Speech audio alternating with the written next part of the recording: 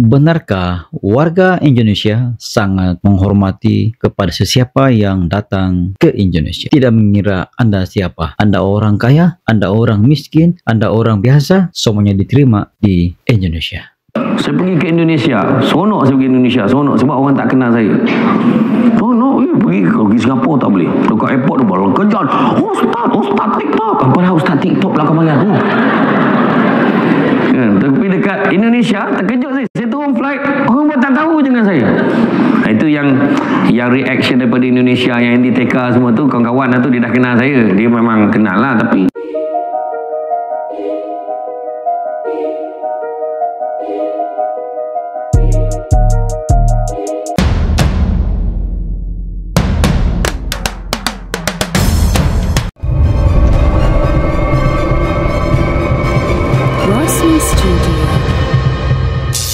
Assalamualaikum warahmatullahi wabarakatuh. Kembali lagi bersama Razli Studio. Bagi anda yang baru hadir, terima kasih. Salam persahabatan, salam perdamaian, salam sentara kepada anda yang hadir di channel ini. Pada hari ini, saya tertarik dengan satu video yang berjudul Samsul Debat Servis di Indonesia. Ada apa nih guys? Dia coba berbicara tentang servis di Indonesia. Dan sebelum itu, video ini saya dapat daripada channel Samsul Debat TV. Seperti biasa, jangan lupa berikan sokongan dan dukungan kepada channel Samsul Debat TV dengan memberikan subscribe, like, share dan juga komen-komen yang membina guys. Tanpa basa-basi, ayo kita simak video ini. Saya pergi ke Indonesia, seronok saya pergi Indonesia, seronok sebab orang tak kenal saya. Seronok, eh, pergi ke pergi Singapura tak boleh. Dekat airport tu baru kejar.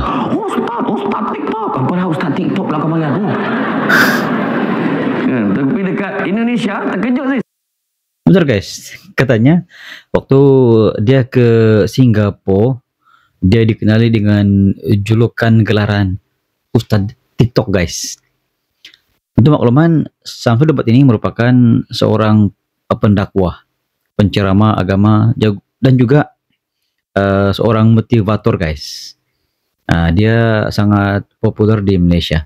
Ramai juga di kalangan YouTuber reaction Indonesia yang membuat video reaction tentang uh, Samsul Debat ini. Oke, kita sambung lagi guys. Apa yang coba disampaikan oleh Samsul Debat tentang Indonesia guys? Ayo. Saya turun flight, orang pun tak tahu dengan saya. Nah, itu yang Oh. yang reaction daripada Indonesia yang di TK semua tu kawan-kawan lah tu dia dah kenal saya. Dia memang Oh, reaction lah, tapi- kawan-kawannya guys. Oh ini eh, oh ini NDTK. Di antara yang buat reaction tentang uh, Cak Mujib pun buat juga. Nah, Rizkia ah, pun buat juga tentang Samsul Debat ni.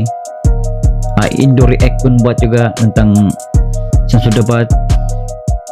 Elsa pun buat juga guys. Ramai guys itu daripada Indonesia. Ah, ni Re React ah, pun buat juga Actionuddin pun buat juga guys ini antara youtuber Indonesia yang reaction tentang Indonesia Samsul ramai. Debat guys Saya buka emas saya. Buat tak kerti dah. Dia pandang dia.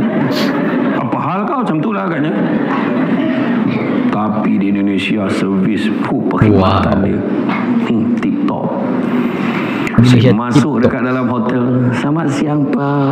Selamat siang Pak. Silakan Pak. Nak dapat saya ni kat Malaysia. Raja je. iya guys sebentar guys betul guys kalau di Malaysia kalau yang ini ini namanya sembah guys sembah. Hanya golongan diraja saja yang boleh. Gini ampun tuanku ampun beri-beri ampun lah. Bermakna diraja tapi di Indonesia dia menjadi kebiasaan guys untuk memberi kata hormat kepada uh, orang. Apatah lagi kalau bukannya lokal Indonesia mereka mau bahwa dia baru datang ke Indonesia ah mereka akan beri hormat orang bilang servis yang sebaik mungkin guys ayo kita sambung lagi video ni guys Uh, di, di mana di mana tandasnya? Sini Pak, saya tunjukkan Pak. Dia tinggal tak menyangkung sebelah aku? Sampai kena nyaman dia tunjuk. Dah tak tahu aku dah aku aku aku aku aku. aku.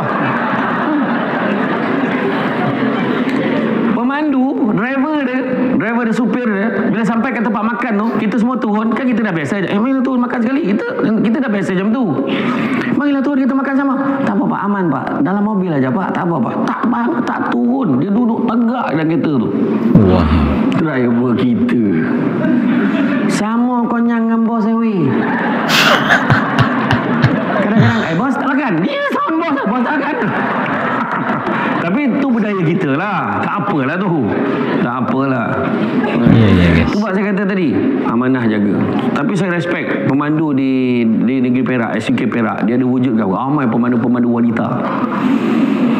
Ha, pemandu 22 Oh. tahun, 25 tahun, driver. Pemandu Jadi wanita yang masih bawa, muda. Bawa yang driver perempuan. Senang macam tu. Nak tukar tudung dalam kereta. Tu tu naik naik naik. Yang brush brush brush. Ha, betul. Betul. Kan. Amanah jaga. Hubungan kita jaga satu dengan yang lain. Jangan tamak, jangan sombong. Nak sombong dengan apa? Tak ada apa pun. Samsul Debat. Berapa lama Samsul Debat? Saya cakap dengan rumah saya. Abang sibuk 2-3 tahun je lagi. Ha. Tak lama besok. Abang duduk rumah jangan kau muntah tengok gambar. Sudah. Saya kata. Tapi kenapa dia punya nama ni Samsul Samsul guys? Debat, debab, debuk semua keluar. Mana kau tahu? Ya, iya. Itu ada yang tanya saya tu. Kenapa nama ayah ada debat? La ilah Allah kau bangang jangan share dengan orang boleh tak? Diam-diam je slow-slow je kau tanya. Saya waktu saya dah jadi pengarah undang-undang, saya dah dijemput berceramah. Jadi Oh, ceramah tu banyak ceramah motivasi. Jadi saya tak suka pakai nama jawatan rasmi saya.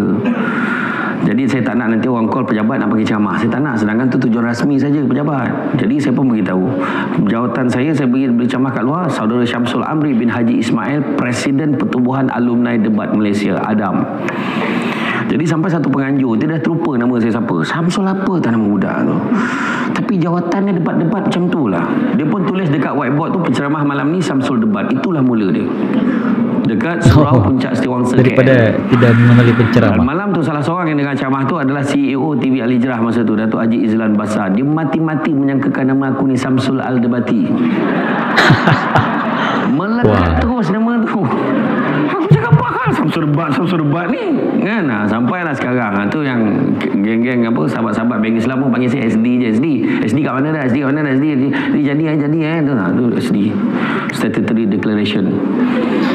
Demikianlah video daripada channel Samsul Debat guys. Dalam video ni, Samsul Debat dia cuba membawa message kepada kita bahawa warga Indonesia sangat menghargai orang yang datang ke Indonesia guys. Itu yang cuba disampaikan oleh Samsul Debat. Kenapa dan mengapa Samsul Debat berkata seperti itu? Katanya sewaktu dia ke Singapura, orang Singapura memang telah pun mengenali Samsul Debat. Siapakah beliau ini guys? Apakah jawatannya dan apakah dia punya kerjaya? Apabila orang mengetahui bahawa seorang pendakwa dan Samsul Debat ini antara penceramah motivasi yang sangat popular di Malaysia di YouTube dan juga di TikTok guys. Satu perkara yang sangat uh, pada saya begitu luar biasa kepada Samsul Debat ni, dia pernah dikunjungi oleh YouTuber Indonesia sewaktu dia berceramah. Antara yang datang pada waktu itu uh, Eddie TK, lepas tu dengan Cak Mujib dengan Bang Reh. Mereka datang waktu uh, ceramah Samsul Debat. Dan satu perkara yang cuba disampaikan oleh Eddie TK dalam videonya hari itu,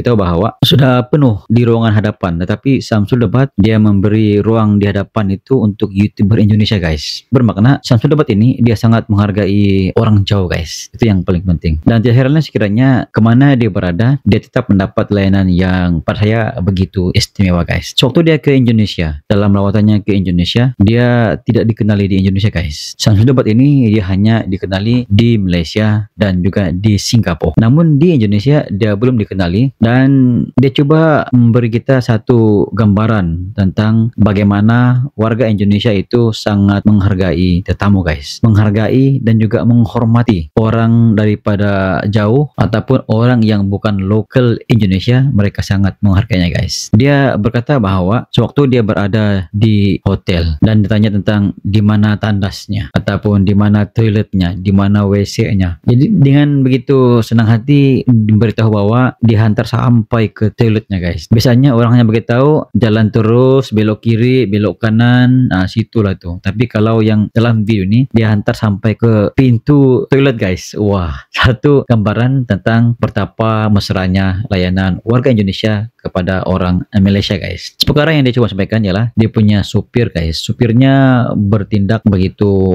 amanah sekali. Itu yang coba disampaikan oleh Samsul Dabat yang mana supir dia tidak turun daripada kereta guys. Kata Samsul Dabat dia membawa supir ini makan bersama-sama dengan dia. Katanya aman pak aman makan aja. Ini memberi gambaran bahwa supir di Indonesia sangat berkualiti menjaga integriti, menjaga amanahnya sebagai seorang supir yang mana dia tidak berganjak pada posisinya guys. Itu yang paling utama. Apatah lagi kalau memang sudah ditempah khas untuk menjadi supir, maka itulah yang dia coba pertahankan guys. Dan katanya ada sedikit perbedaan antara supir di Indonesia dan juga supir di Malaysia guys. Menurut anda bagaimana tentang video ini guys? Apakah benar yang coba disampaikan oleh satu debat bahwa warga Indonesia sangat menghormati orang luar yang datang ke Indonesia guys? Menurut anda apakah fakta ini benar guys? Apakah anda setuju sekiranya saya mengatakan bahwa warga Indonesia begitu santun kepada orang luar dari Indonesia karena itu merupakan budaya yang mereka pegang selama ini. Itu sedikit sebanyak pandangan daripada Rasis Video. Sekiranya anda mempunyai pandangan tentang